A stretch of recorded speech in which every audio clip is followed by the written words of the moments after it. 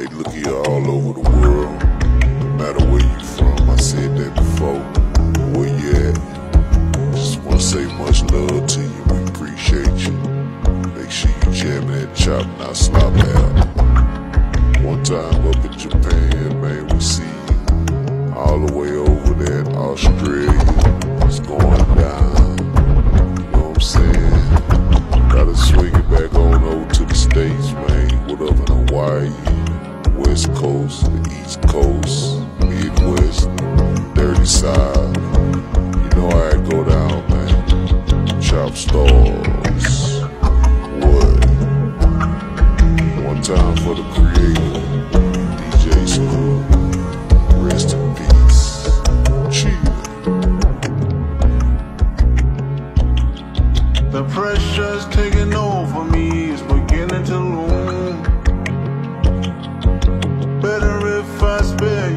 Feelings and tell you the truth.